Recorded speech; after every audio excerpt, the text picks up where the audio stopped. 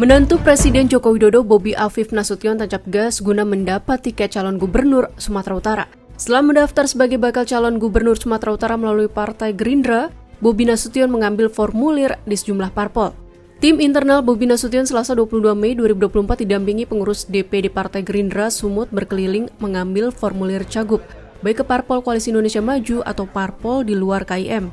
Parpol yang dituju yaitu Partai Demokrat, PKB, Perindo, Nasdem, Hanura, dan P3. Langkah ini diklaim untuk memperkuat posisi Bobi pada Pilkada Sumut 2024 kalau si waktu pengambilan di apa waktu pendaftaran di Gerindra kan juga sudah disampaikan utamanya pasti koalisi Indonesia Maju tapi tetap tidak menutup kemungkinan berkoalisi dengan partai-partai lainnya. Kalau ke seberang nggak, Pak? Belum ada penugasan saya ke situ.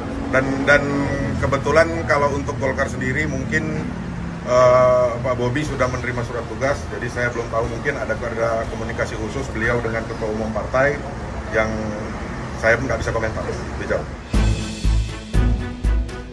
Pada Senin 20 Mei malam, Bobi datang ke kantor DPD Gerindra Sumatera Utara dan menyatakan bergabung dengan partai pimpinan Prabowo Subianto itu. Tak hanya resmi menjadi kader, malam itu Bobi juga mendaftar sebagai bakal calon gubernur Sumatera Utara dari Gerindra. Atas langkah Bobi ini, PDIP menghormati pilihan politik Bobi. Partai pimpinan Megawati Soekarno Putri itu meyakini bergabungnya seseorang ke sebuah partai politik biasanya didasari idealisme atau kepentingan praktis kekuasaan.